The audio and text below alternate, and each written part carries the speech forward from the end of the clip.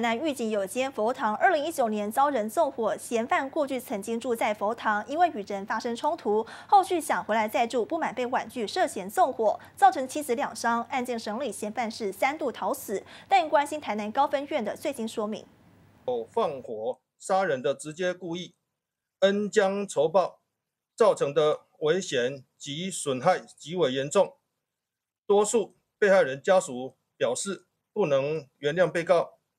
被告犯罪的情节已达最重大，无从下修被告的量刑。本来可以量处最高的刑度，但是本件被告在远景前来的时候，虽然因为脚痛难耐而向远景坦诚放火，还是符合刑法第六十二条自首的要件。经过自首减刑的规定之后，就是对被告。两处无期徒刑。